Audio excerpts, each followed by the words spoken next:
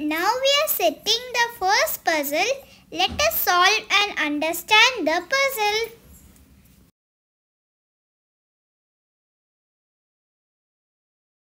This position is white to play and checkmate in two moves.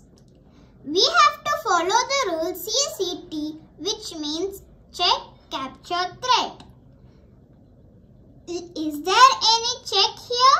Yes, there is a check which is bishop captures pawn in f7. Correct. Now I have a question. Is there any way to save your king from the check? Yes, the only move for black king is to go to e7 because the black king cannot go to d7 or capture the bishop because of the knight. Correct. Now let us find the checkmate. The checkmate is knight d5.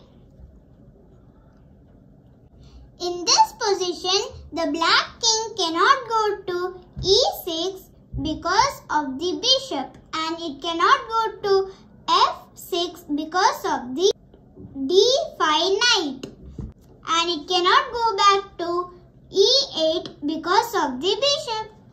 So this is a position of checkmate. Now we are setting the second puzzle.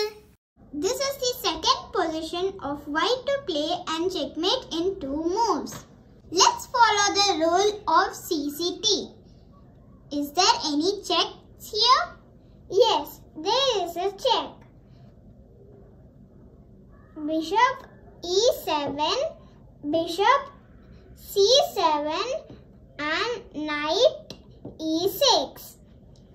Good, but these checks will not lead to a checkmate. So, the main check of this position is Queen F6. Check. In this check, we are sacrificing our queen as they will capture it with their knight because black has no other option other than capturing the white queen. Here, there is a checkmate. Can you find the checkmate? Now let me tell you the checkmate. The checkmate is bishop e7.